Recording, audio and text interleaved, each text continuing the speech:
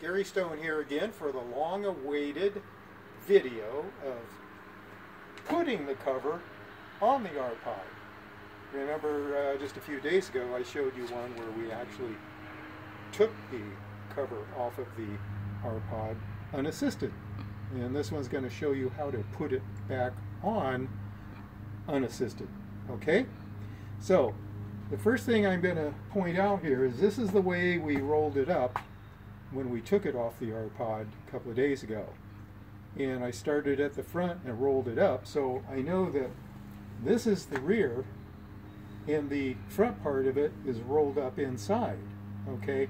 It's important to stay oriented on which end is the front, which end is the back, so that you don't end up putting it on backwards and then have to take it all down again and roll it up and start over again.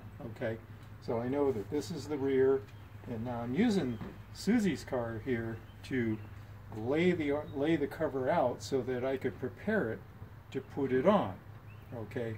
So first of all, I start by just unrolling the entire thing on Susie's car.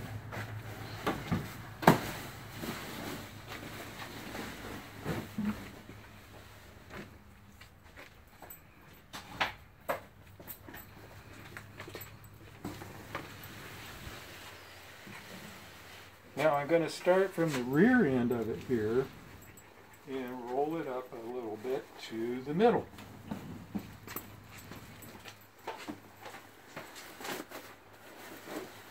right about there. Now I'm going to get the front end, which is at the front end of her car, and roll that up to the middle.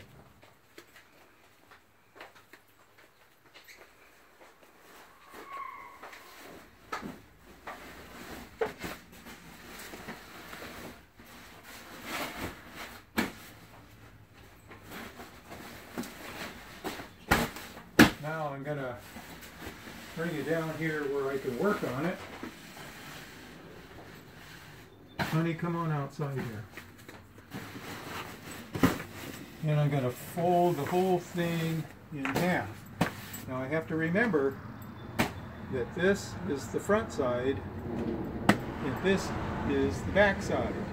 And I'm going to kind of turn it around, remembering that this is the front side, okay? Front side's on top pick the whole thing up and now we're going to walk down to the R-Pod where I already have my ladder set up and the broom is in place. It's a little breezy today so I hope this doesn't get away from me.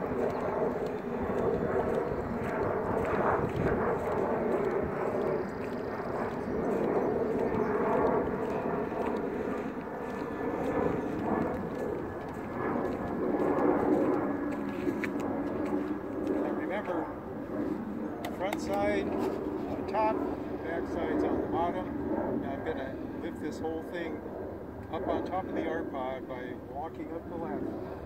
Be very careful.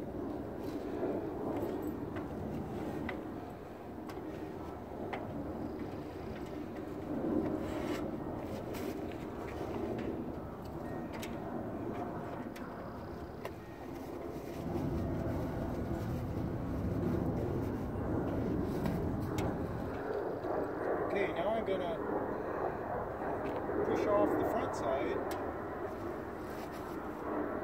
And push off the back side.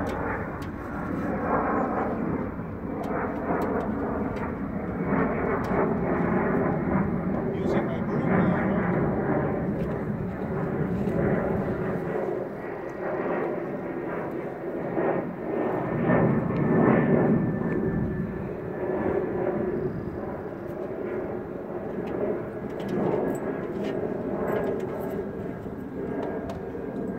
just a little bit far forward, so I'm going to go to the back and grab a hold of it and kind of pull it towards the back a little bit so that I have the vents that are on the uh, top edge of the cover are more or less centered over the door.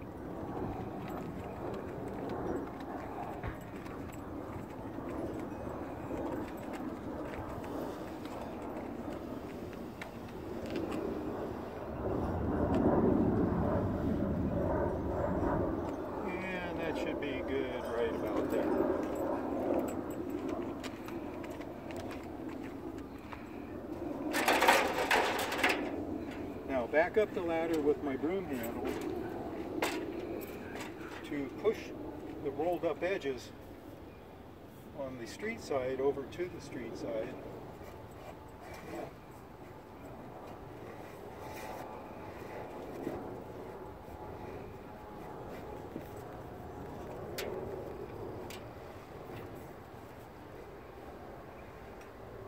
Just enough so that I can reach it when I go over on that side with the ladder.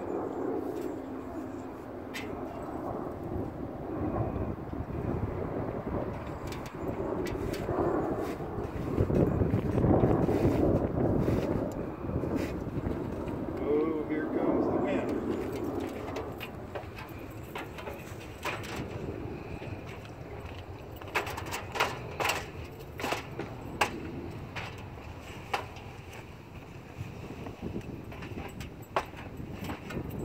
Okay, that's good enough. I don't have to pull it all the way down. It'll mostly fall down by itself.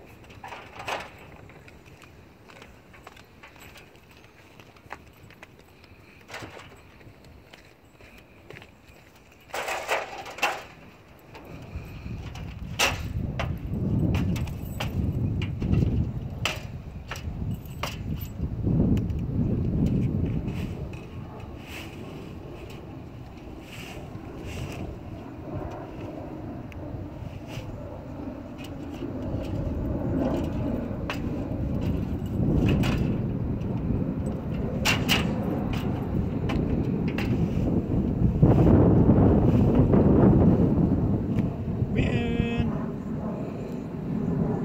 I don't want the wind to catch it in this state because it'll just blow it off like a kite. Once I get this down here, then we're pretty much home free.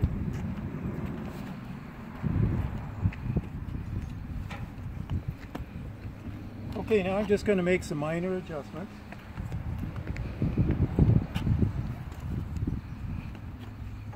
Get this part down.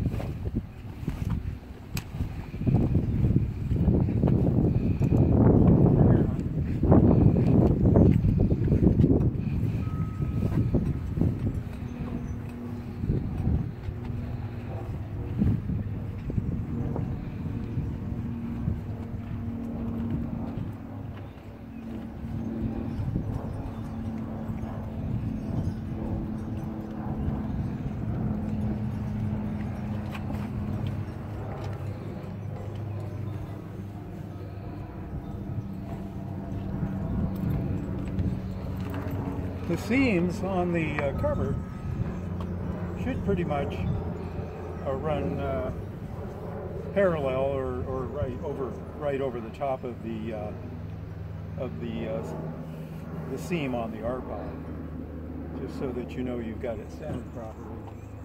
The classic accessories logo is right here, just about head level for me. I'm 5'9", so that's just about where that should be. Now I'm going to go to the rear.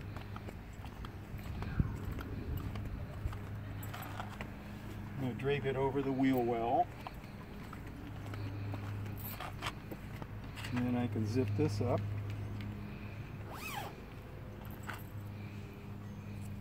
Put the Velcro in.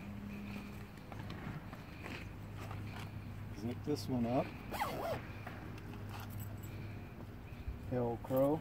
I don't have to zip it all the way down because I like to leave this corner exposed so that it's not digging into the material. This material is not the best. Uh, classic accessories uh, could have done a little bit better because after a couple of seasons out in the sun and the rain and the snow, this fabric here becomes kind of brittle and it tears easily. Uh, they replaced my last one at no charge, so good on them for doing that. Um, let's see if they're willing to replace the other, the second one that I got from them. But uh, they stood by their product and they replaced it when my first one got torn up. You know, just hardly even touching it and it would tear. The top, the white top, is real sturdy. I saved that and I use that for for other purposes. But uh, uh, we can get into all that later.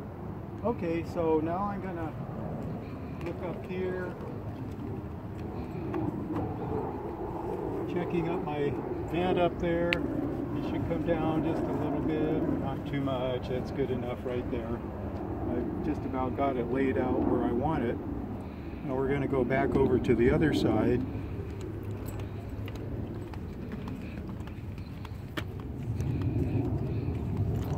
And the last thing I do is put this put the straps on and I just kind of roll the strap up in my hand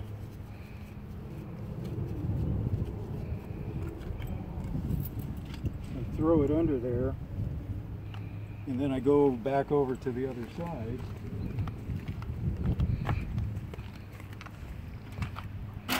And retrieve it.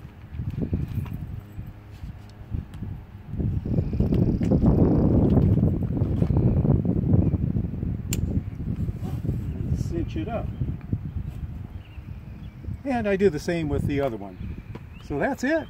It took us about I don't know eight minutes maybe nine minutes, maybe 10 minutes. 10 minutes, You 11 minutes. subtract out the uh, talking that I did and you can see that it's a pretty quick job and that's how you do it unassisted. Okay, so I'll get this posted and you all go from there. Thanks and have